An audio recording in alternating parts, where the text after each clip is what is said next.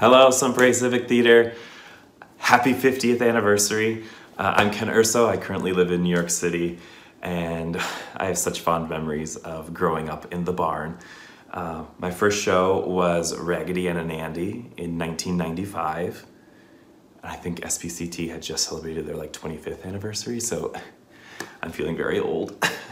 but um, yeah, there was a period of time where I was doing every show. I think right after Raggedy and Andy was Gypsy, starring the amazing Lynn Najum.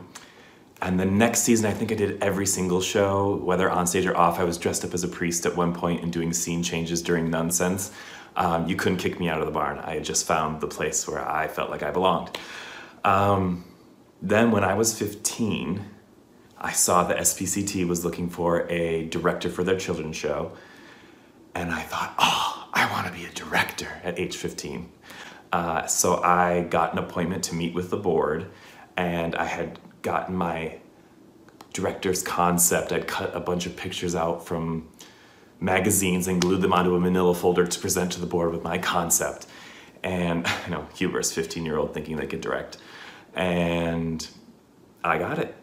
The SPCT gave me my first directing gig. And now I'm a professional director. I live here in New York City. I've directed shows all over the country and in the UK.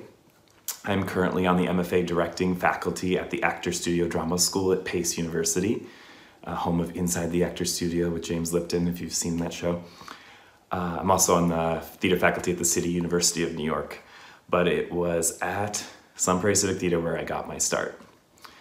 Um, I just remember having the freedom to walk up and down that hallway in the basement of the barn and I would look at all the props and I would look at all the costumes and I would look at all the set pieces and that's where my creativity started as an artist. I would just imagine what that piece of scenery was, what show that was from, where did that costume, who wore that costume.